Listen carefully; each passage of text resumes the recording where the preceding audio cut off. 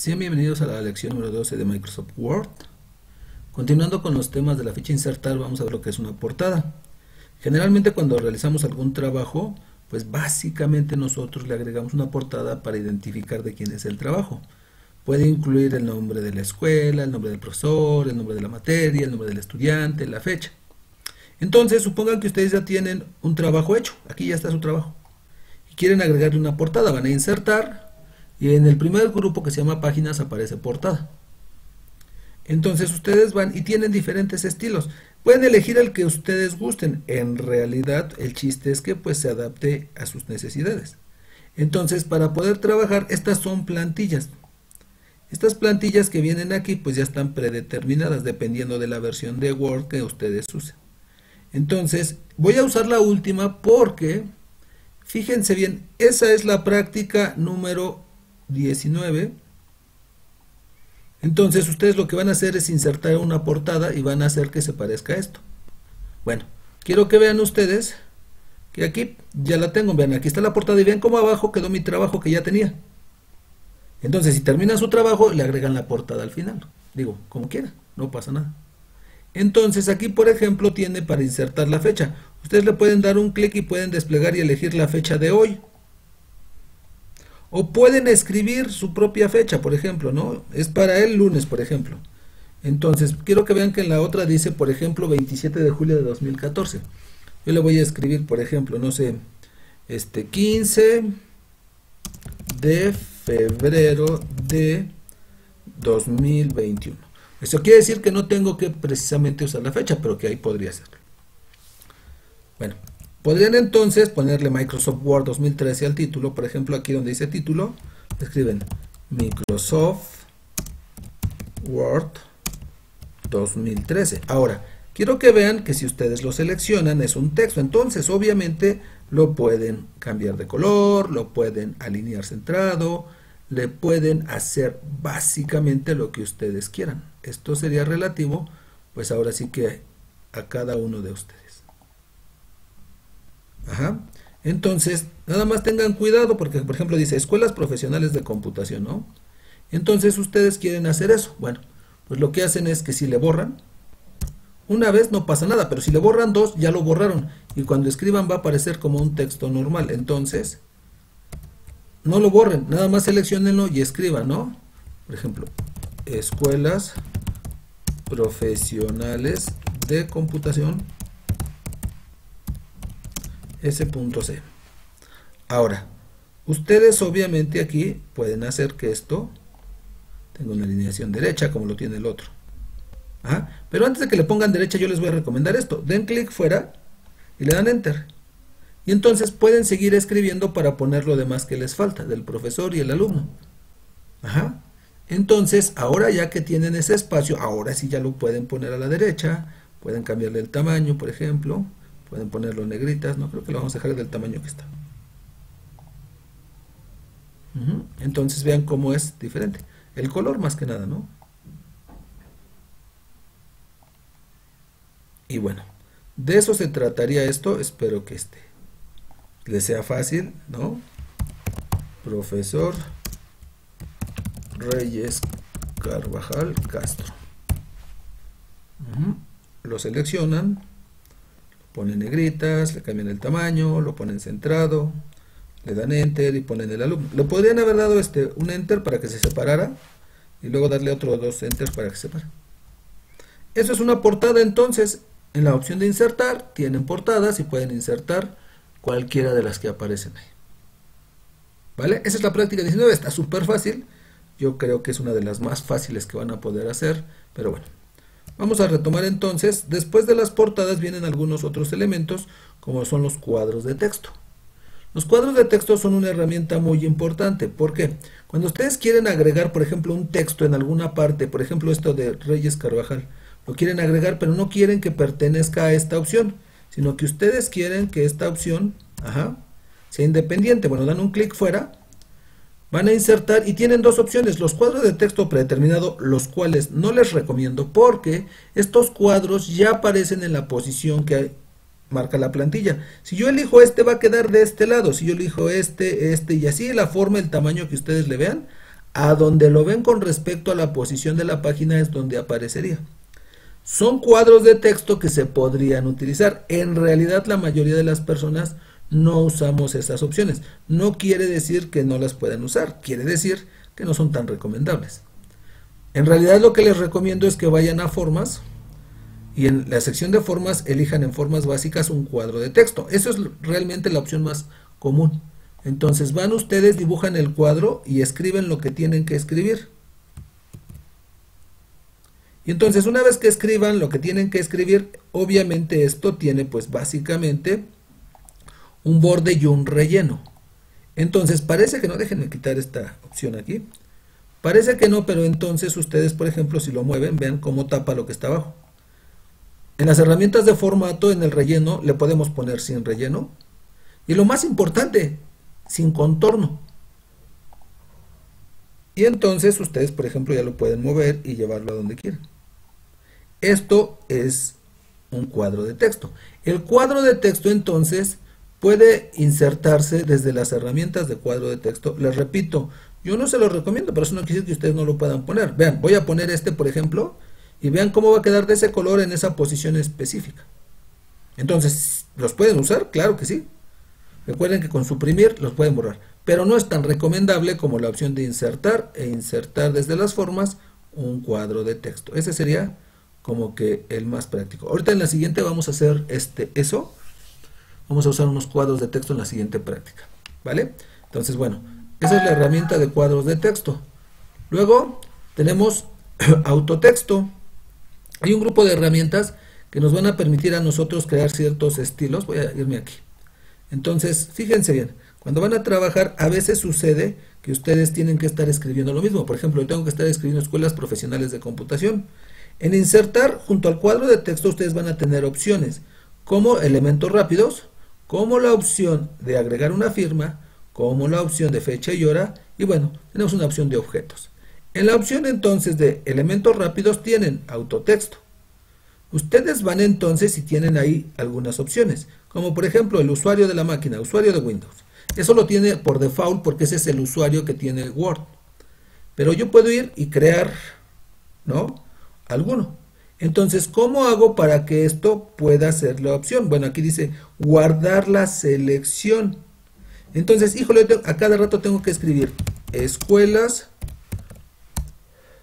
profesionales de computación S.C. A cada rato tengo que estar escribiendo eso, me da flojera. Lo selecciono, voy a la herramienta de autotexto y le doy agregar. Guárdalo. Y entonces le damos aquí. Otro día que necesite poner eso ya no lo tengo que escribir, nada más lo selecciono y listo aparece. Entonces un autotexto consiste en que ustedes guarden algo que usan constantemente para evitar estar repitiendo lo mismo. Tienen entonces la opción de autotexto, obviamente, para poder agregarlo. ¿Vale? Bueno, a continuación vamos a encontrar también otra herramienta que podría ser importante, que es la línea de firma, que les permitiría a ustedes, por ejemplo, digitalizar algo. Entonces, esto generalmente se hace cuando pues digitalizan su firma con un escáner o le sacan una foto, ¿no? Van y ustedes tienen línea de firma, entonces lo único que tendrían que hacer, ¿no? Entonces, por ejemplo, licenciado, este, no sé, Juan Pérez. El puesto, gerente. Gerente. Sale. Le damos a aceptar. Y entonces ya va a aparecer licenciado Juan Pérez, gerente. Esto es exactamente lo que ustedes podrían hacer con esto. Pues le cambian el tamaño y bueno, pues ya, esto tiene formato porque es una herramienta, le pueden poner ajuste de texto delante del texto obviamente y pues lo pueden mover sin mayor problema y llevarlo a donde ustedes quieran. ¿Vale? No es tan práctico pero lo podrían hacer.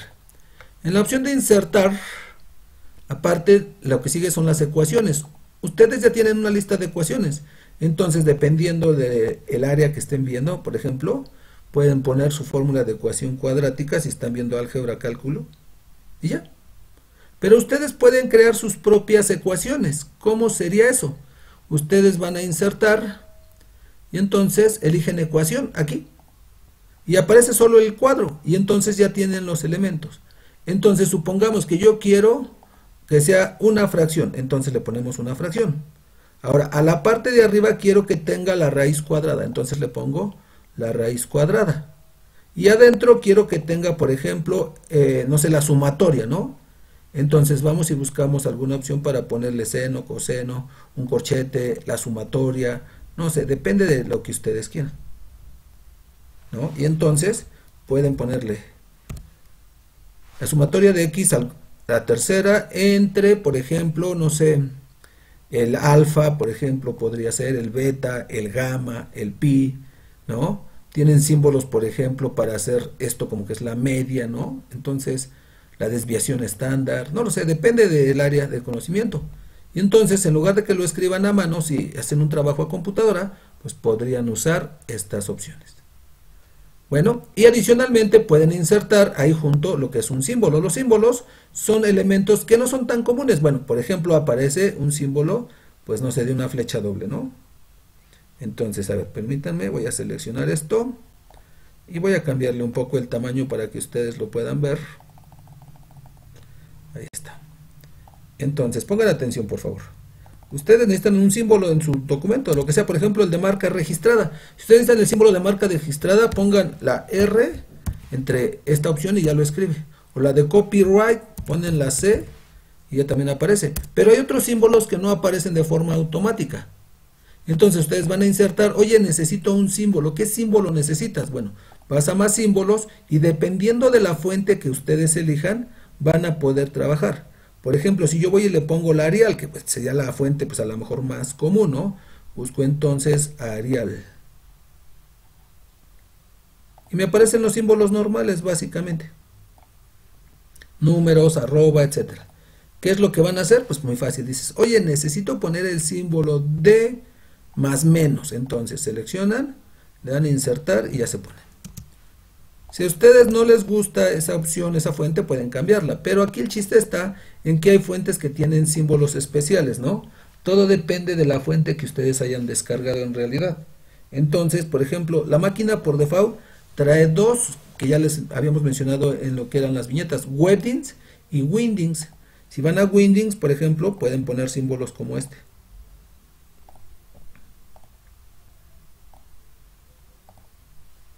Si van a WebDins, WebDins, tiene otro tipo de símbolos.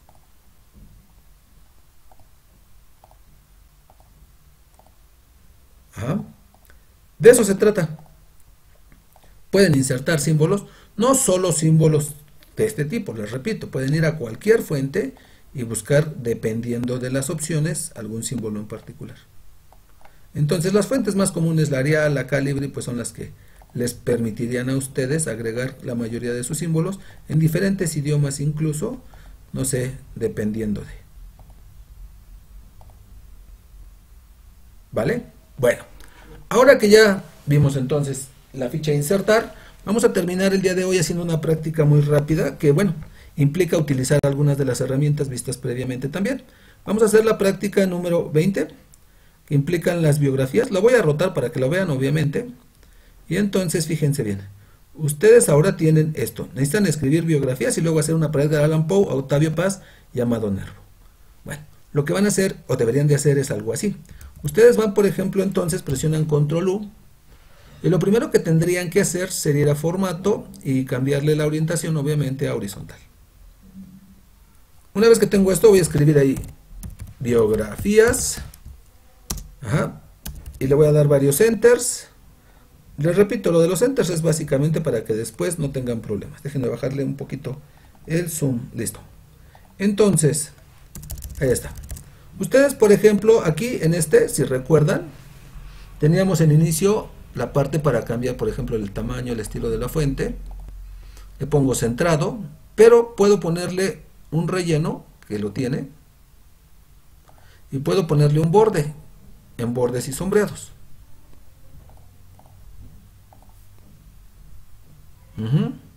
Entonces, ahí ya tengo esa opción. Bueno, lo que necesito hacer es muy fácil. Necesito colocar los títulos. Entonces, esto lo voy a hacer con un cuadro de texto. Vayan a formas, coloquen un cuadro de texto. No hay tanto problema en que ustedes lo dibujen manualmente. Aquí el detalle nada más es que piensen en esto. En la ficha de formato tienen el ancho. Por ejemplo, el ancho aquí está de 6.8. Pónganle de 6.5, por ejemplo.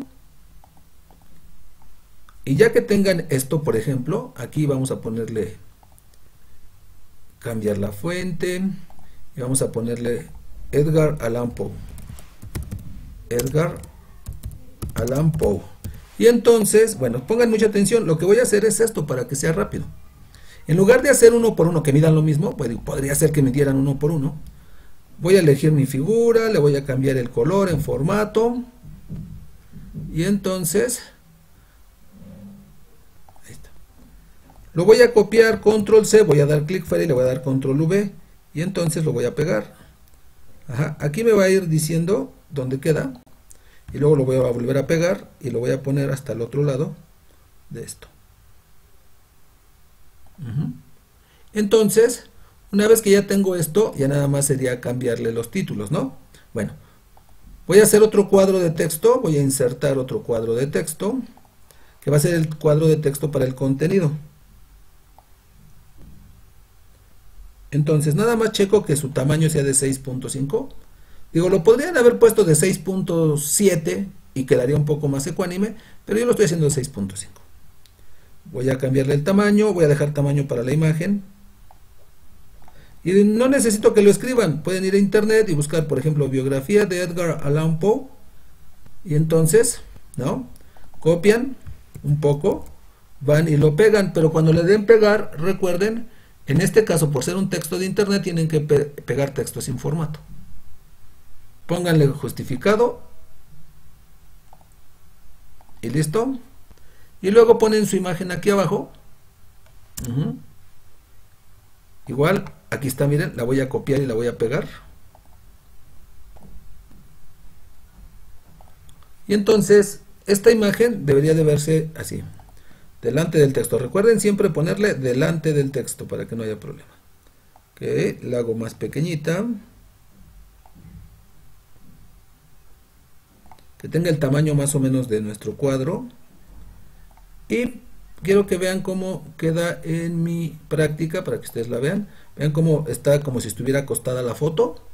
Y entonces lo único que hacen es ir a las herramientas de imagen. Y se acuerdan habíamos mencionado que hay diferentes estilos. Bueno uno de los estilos tiene una forma así de ese tipo y listo luego podrían copiar este para no volverlo a hacer o lo pueden hacer no Control C, doy clic fuera, Control V. Ups. Control Z. Parece ser que no se copió el, elemento. Con Control lo voy a arrastrar, no pasa nada. Recuerden que con Control y arrastrándolo también lo pueden hacer. Entonces lo ponen. Ajá. Parece que ahí está. Y entonces aquí le cambian, por ejemplo, dice Octavio Paz. Octavio Paz. Y luego van igual, buscan la biografía de Octavio Paz. ¿No?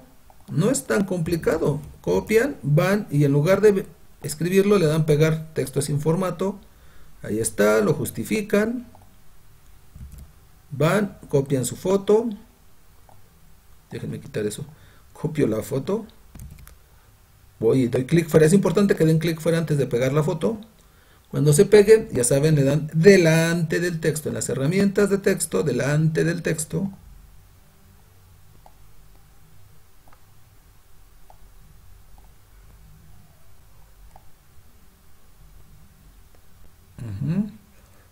Si su imagen es muy grande, pueden usar la herramienta de recortar y quitarle una parte.